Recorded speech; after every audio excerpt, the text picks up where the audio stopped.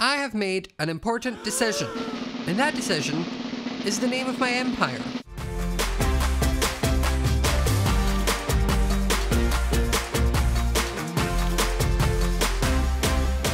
Hi guys, and welcome back to the next episode of Empires SMP. So we are back here on the server in our wonderfully unnamed kingdom, and I have some ideas and things we're doing today. So to start with, we have a lot of best friends now. I have been working away, breeding all of these, and now I have so many more. So we're actually going to start by grabbing some other colors and making some more dyes, and then making some more carpets. So I've done cyan, magenta, and yellow. Now all I need to do is grab some other colors. So let's grab some orange, some purple, some lime, some blue. I'll also make some light blue and some pink. I'm not actually sure how many llamas I currently have the ability to put carpets on. I think I've actually got too many carpets, but we will eventually need them, so it's fine. Now, you can have a pink carpet adorable. You can have an orange carpet, cute. You can have a light blue carpet, adorable. You can get the purple carpet, ooh, spooky. And you can have the dark blue carpet, very royal. So the only colors I don't have here on right now are lime green carpet. So what I'm going to do is just place the lime green carpet down. And then it means once I've bred up some more best friends, I can then actually put the carpet on them. And that'll be great. But now that that's done, we can actually get on with the first job of today. So last episode, I showed you all the skeleton spawner area that I found, and I have been busy. So if we just have a little run over here, you can see I've done a little bit of terraforming and actually filled in the hole because we're going to build something here. But I also made an actual skeleton XP spawner. If we have a little swim down here, which it's it's actually too deep that like you always get hurt. You always take like three to four ticks of damage getting down here. Same as going up. So I do want to change that eventually. Today's not the day. Right now is not the time. So if you come through here, as you can see, all the way down here, I have a wonderful little skeleton spawner. And I even have it set so I can like do it so it's manual. So like when it's like this, I have to punch the skeletons. So like now, I can do that for XP. But if I was like, hmm, I just need bones, I'm not bored about XP, I can flick it to that, and they die. And then also, I'm extra duper smart, and if you come in here, I've got a chest that's collecting materials. And you thought I was just a pretty face. And my favorite thing is, like, I figured out most of this stuff, like, myself. I didn't even follow a tutorial. It's called growth. It's not the most easily accessible right now. I eventually think I will, like, hollow out a bigger area and decorate it, make it look nice. But mining cobble deep slate with an iron pickaxe is a pain in the backside, and I have done my fair share of that.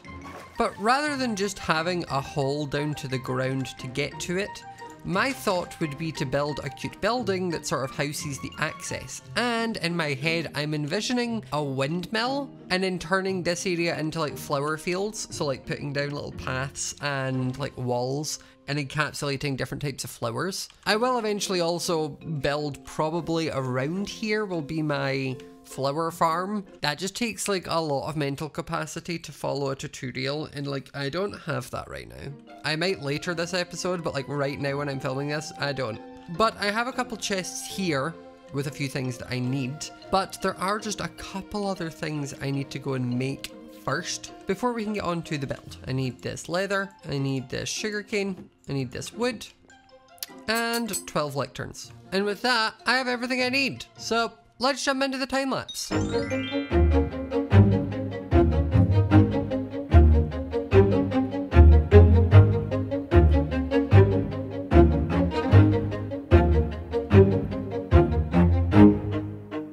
As you've seen in the time lapse, we're done. We now have our windmill. It's super cute. I'm really happy with how it turned out. Inside we just have all this space, which I eventually think I'm going to put some like barrels and storage and such. And then we have a little basement, which just leads us to the water elevator. I'm intending on making it so that like there's a way to get up very quick and a way to get down very quick, but that obviously wasn't something I was going to do on time lapse. So I've just left it like this for now and I will work on that. The next thing I'm going to need to do is a terraform here a little bit and bring this out a little bit more. And then I need to sort of like bring a path that like winds down here, up there, up and back into sort of the main area. And I think once I have the path shaped down, I can then work out the little flower fields and flower beds on either side. I think I'm just going to sort of like surround them with some cobblestone like slabs and stairs and blocks and such, just to kind of give in like cute little beds. And then I will just put like one with just daffodils, one with just dandelions, one with just tulips, one with just alliums, like just sort of spread out the fields. I think it looks super cute but I am really happy with how it's turned out. It's adorable. So I have been busy. Over on my Twitch channel, which is twitch.tv slash smajor, I decided to do an Empire stream where we built a path. And as you can see, the path goes all the way down to the windmill. Now I also did some little garden walls here, and as you can see, we have lots of different little areas where I'm going to put a bunch of different flowers. So we're going to have some like cornflowers, dandelions, rose bushes, alliums, lilacs, the azure ones, and up there we'll have peonies. Now, some of these flowers I can't bone meal, like you can't bone meal the small ones, but for the big ones, I can. And the plan is basically just bone meal an absolute ton of these, and I mean a ton. And then I'm just going to absolutely fill in every single block within these little walls just to kind of fill it out. So if I grab all of these and we just go through and place it down like that, this is what we have. A little peony flower field. So I'm going to do that for also the poppies and the lilacs because I can do that with bone meal. And speaking of bone meal, if we come down here, I now have two ways. I have a down and an up. So if we go all the way down here, it's terrifying but fast. It brings us to this little area. And if we just follow this round, it brings us into our skeleton farm, which we have access to a bunch of bones down here. So if I just break this and grab myself a bunch of bones, and now we can also just go up the bubble elevator and it means we don't suffocate on our way up, which is a nice change. And it's very speedy. There we go. Nice little way up and down.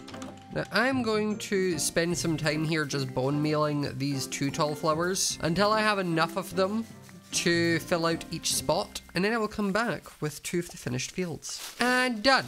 We have our rosies, our peonies, and our lilacs. Now what I need to do is go and grab a bunch of the daffodils and azure flowers that I have. I know I have several stacks of them already, so I want to go and grab those before I start taking more from like the surrounding meadows. The ones I'm going to struggle to fill out a whole pen with is probably going to be cornflowers. I'm going to need to go around and collect a bunch of those. But I suppose for now, I will start placing my azure flowers down and see how many we can actually fill. Worst comes to worst, I'll just go and collect some more from the surrounding area. As you can see, there are lots of them. Okay, the azure flowers done and the daffodils are done. It's now just collecting a bunch of cornflowers and a bunch of alliums. This one is gonna take a while. So I'm gonna go do that. A little longer than a few minutes later. A little while later and we're done.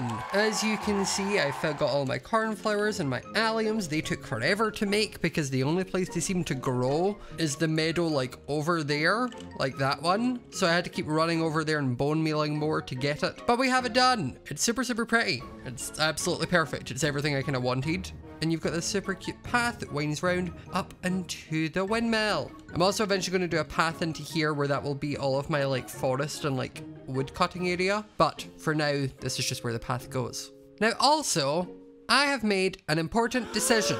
And that decision is the name of my empire. You all gave me a bunch of amazing ideas and I scrolled through the comments for ages having a look at some and there was quite a few duplicates of different people coming up with the same ideas or whatever, but I have finally settled on, drum roll please, Chromia the Color Kingdom. That's Chromia spelled C-H-R-O-M-I-A, which is also a fun thing because my character has two different colored eyes, which if you have that in real life is known as heterochromia. So Chromia, the ruler has two different colored eyes. It just made sense. Also, someone in chat came up with a really cool slogan, which is come visit. It's a place to die for. But die spelled D-Y-E because dies are my export and I just love that. So thank you random Twitch viewer that gave me that idea. I'm running with it. But look at this. We're really coming together here. We've got our barn, our starter house, and our windmill with our flower field. Honestly, the where my priorities are seem a bit mixed up. Like those two make sense. This one a bit more of a passion project, if I'm honest, because I did build all of this with iron tools I definitely should have prioritized enchanting. But we live, it looks pretty, and that's all that matters. So, now that we've done the windmill, we're actually going to do a few more of our best friends. Now, for this one, do I have shears? I do. I already have one piece of lime wool. I need to pick other colors that I don't have. And also, I'm not sure if there's actually sheep in here of colors that I don't have. I don't think there is. Well, white, and also brown, and grey, they're not as colourful as I usually would enjoy, but they're still ones that we eventually need to do. So let me jump in here and grab this lime carpet and you can be our lime buddy. Adorable. That one's actually super cute. So we've got a white carpet, a brown carpet, and a light grey carpet. You can be brown. The brown one's kind of cute actually. You can be white, adorable, and you can be light grey. Oh, wait, stop. You get little ankle booties. You're styling. He knows he's slaying. He's got a, like, neckerchief and then, like, sweatbands around his ankles. He knows. He's serving. As he should. look at this. We have a little pen of friends. I do eventually have plans for these guys, not just having them sat in a pen all the time. It's just a very colourful pen right now, it's great. But I do have other plans for them, so do not worry. You will be utilised better. Your skills and services will be utilised. Now, I've said before how my main expert is going to be dyes, and a lot of dyes I can get through flowers, which is why I'm living in a meadow, because I have ample access to them. There are, however, a few dyes that I can't get that way, including cactus and cocoa beans. And then like squid and all that, but like I'll deal with that later. I, I don't know if I mentally want to set up a squid farm. Maybe we don't do black because it's not very colorful. I know. We're the color kingdom. But for cactus, I should set up a farm. It doesn't need to be a fancy big one just yet, but I should start getting some cactus going. So I have a few materials here. I just need to grab a bucket of water and then for now, as I said, it doesn't need to be a permanent place. I want to eventually make a big scale one. For now, I just want to make a little one out in the open that I will eventually destroy. So maybe just down here, honestly, would be pretty good.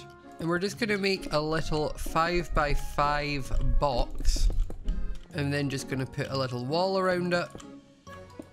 And I'm gonna break this one here because that's where the hopper is going to go four little pieces of sand. On top of this cobblestone, I'm just gonna pop a little fence and then break this.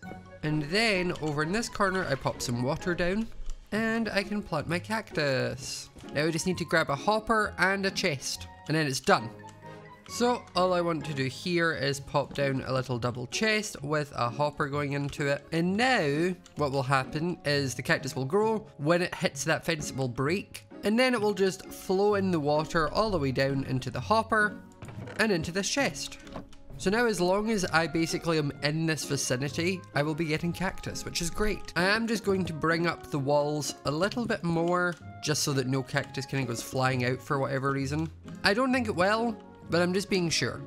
As I said, not very pretty, but luckily for me, where I've put it is kind of out the way. If you're stood here, you can kind of see my windmill, you can see the barn, you can see the house, and you don't see it. It's only if you go to the edge of this and look down. But that at least covers our bases for almost every dye. I also still need to set up the flower farm, but that's probably something I'm going to do on stream because it's a long, tedious process that I would rather have chat to talk to while I'm doing it. So probably next episode I will have a flower farm and we'll maybe make it look cute, but for now, this is what we have. So guys, I hope you enjoyed this episode of Empires SMP. If you did, remember to leave a like, comment down below what you thought of the windmill, what's your favourite flower in Minecraft, and also what do you think of our brand new empire named Chromia. I am very happy with it. I think it will turn out very cute and very colourful. I'm excited to see what we can eventually do with this empire and build up and such. I have a lot of projects in mind, so I'm excited to get on with them. But if you enjoyed the video, remember to leave a like, comment down below, subscribe if you're new to the channel, hit that notification notification bell so you do not miss a video, and I will see you all next time. Bye!